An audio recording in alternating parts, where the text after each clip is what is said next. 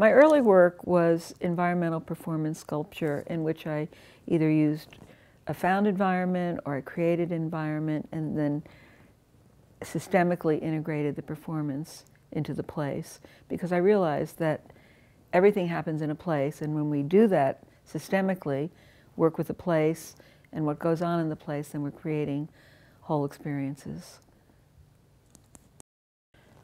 I also thought of this early work as a life frame or life frames. Initially, as in Portable Park 1, as a um, still life. And then the life frame became more participatory, as in Portable Parks 2 and 3, and people became involved in participating in these performance installations. And then later with the farm, which was even more participatory and involved transforming many places, I also thought that the ultimate performance was being a total human being. And so that's the performance that I worked on at the farm, and it's one that I'm still working on today.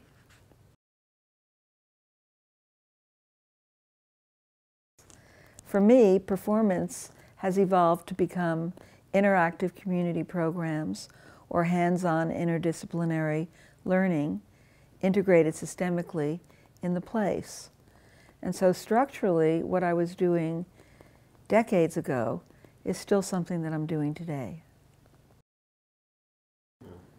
Life Frames Inc. is the nonprofit organization that I founded and direct, and it's the sponsor of a living library, which is meant to be in diverse communities. And it's a vehicle for helping us to understand interconnected systems, biological, cultural, and technological.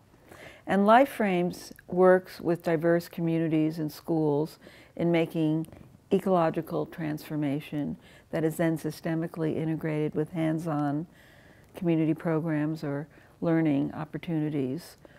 And it also results in transforming really ugly places and making them beautiful and more ecological. And then it's integrated with these hands-on learning programs. So people are actually educated about whole systems. I call this work systemic ecological design.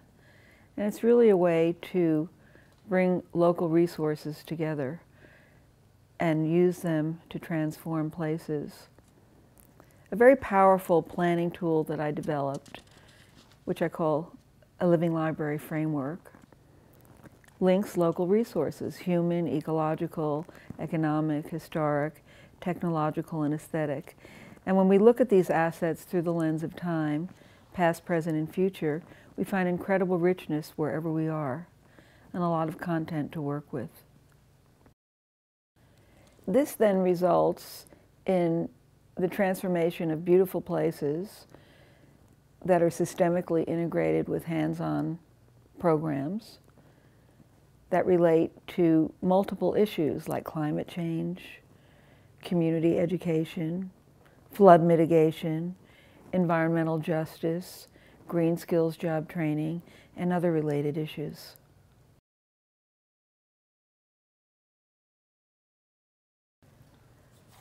What, I'm, what I really want to do is create branch living library and think parks in diverse communities locally and globally and link them so we can really begin to connect with each other and understand how we are all interconnected and how our different cultures and ecologies relate to each other even though they may be very different. I think this is an important thing to do and that's why I'm doing it.